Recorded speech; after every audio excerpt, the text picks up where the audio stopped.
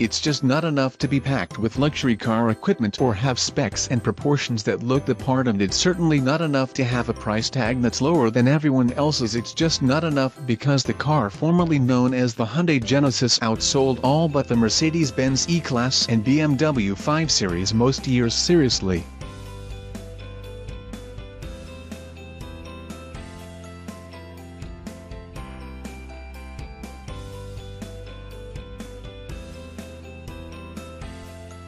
And yet, can you really envision anyone truly putting it on the same luxury car pedestal as even an Infiniti or Volvo? You know, the pedestal that creates satisfaction for owners and breeds desire in everyone else?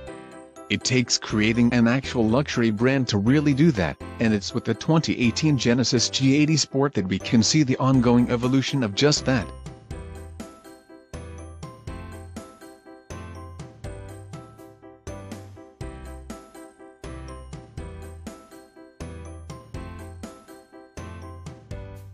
Although every G80 is updated for 2018, it's with the sport where the best attempt is being made at establishing the sort of emotional connections and points of differentiation that can make someone want a car rather than simply buying one because it makes sense. And in the G80 Sport, it all begins with copper. Yep, the stuff of pennies, kettles and Moscow Mule mugs, and a finish you won't find on any other luxury car. There are copper details in the sport's headlights, wheel caps, dash clock and leather stitching, they are subtle but classy and effective.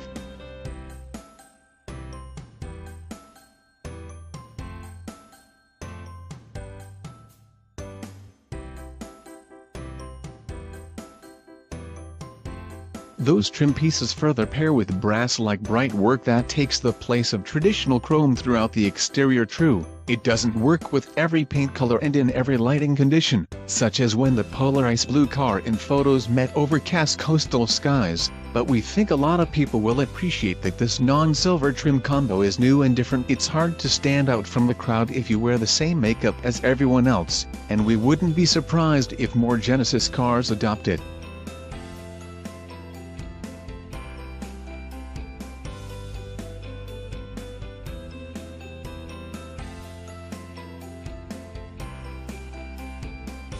There are differences beyond the trim, though, as the sport's lower fascia is more aggressive than the slightly altered one found on every other 2018 G80 there are three separate intakes sculpted to strongly resemble an M Sport BMW's lower fascia,